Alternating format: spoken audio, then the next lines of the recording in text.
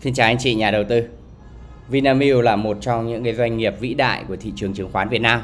Chỉ từ giai đoạn 2006 đến năm 2016, cái cổ phiếu này cũng đã tăng đến 4 50 lần, giúp cho rất nhiều các nhà đầu tư đạt được sự thành công rất lớn. Tuy vậy thì từ năm 2016 17 đến nay đến 2022, khoảng độ 5 6 năm thì Vinamilk gần như là không có sự tăng trưởng đáng kể. Thì nguyên nhân đến chủ yếu từ việc công ty này đã bão hòa với cái kết quả kinh doanh trong 4 5 năm qua là về cơ bản không tăng trưởng, thậm chí còn có sự suy giảm một chút.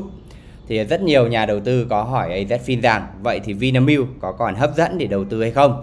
Thì sau đây thì chúng tôi xin trả lời uh, đến quý vị về vấn đề này. Thì uh, đầu tiên là chúng ta cùng dạo qua cái cơ hội đối với cổ phiếu Vinamilk này như thế nào.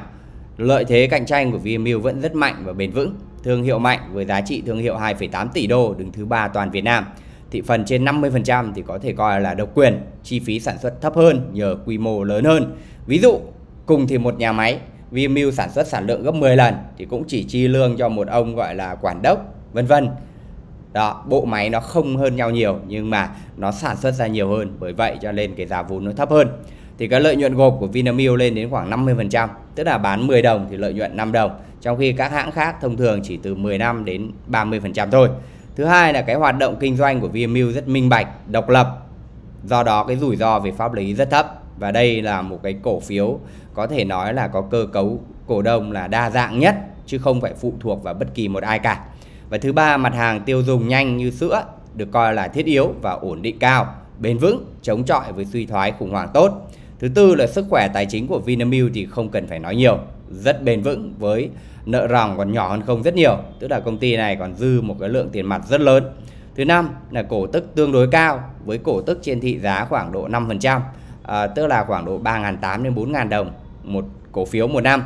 Về rủi ro thì ngành sữa đã bão hòa trong khi Vinamilk thị phần đã quá nở quá lớn rồi thì khá chậm chạp nên nó khó tăng trưởng cao, thậm chí là nó có thể giảm. Đúng không ạ? Nếu mà không có những sản phẩm mới để đột phá. Thứ hai là định giá Vinamilk thì cũng không còn quá rẻ là 17,5 lần, PB bằng 4,2 lần. Thì giá này là tính ngày 18 tháng 11 năm 2022.